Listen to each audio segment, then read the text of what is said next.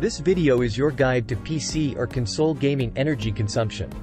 PCs will drain more energy, but also give you a better quality experience with your gaming session. Whatever your preference is, there are energy costs attached, which we will discuss in this video. Which uses more energy for gaming? PC or console gaming? Generally, with gaming PC versus console energy usage, a PC, especially a high-end gaming rig, will consume more electricity than consoles. This is largely due to the more powerful components in a PC, which can lead to higher PC electricity usage. However, the gap between the two can vary significantly based on how each is used. On average, a high-end gaming PC can consume 2 to 3 times more electricity than a gaming console during intensive gaming sessions.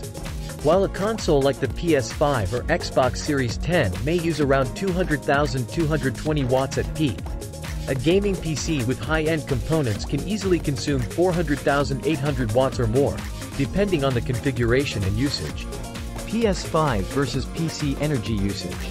The PlayStation 5's power consumption peaks at around 200,000 220 watts during intense gaming sessions. Comparatively, a high-end gaming PC can easily consume 300,500 watts under similar conditions, especially if equipped with top-tier CPUs and GPUs. It's essential to note that gaming computer power is highly variable. Some gaming PCs, especially those optimized for energy efficiency or less demanding games, can run on much less power.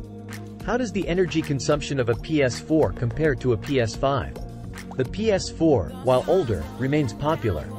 Its PS4 electric consumption is lower than the PS5's, peaking at around 137 watts. This makes it significantly more energy efficient than most gaming PCs. Xbox versus PC energy usage.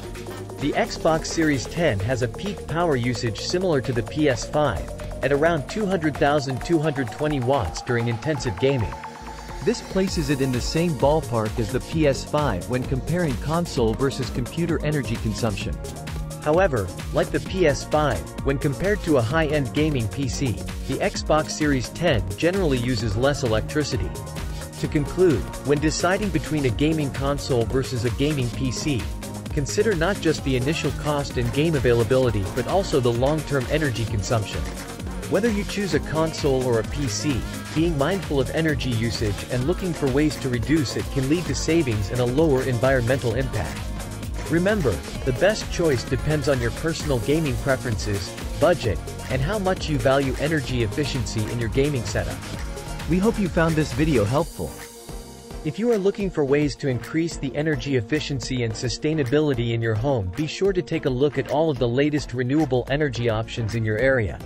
The Energy Professor helps residential and small business owners find qualified energy suppliers in New York, New Jersey, Pennsylvania, Texas, Ohio, Maryland, Illinois, and Massachusetts.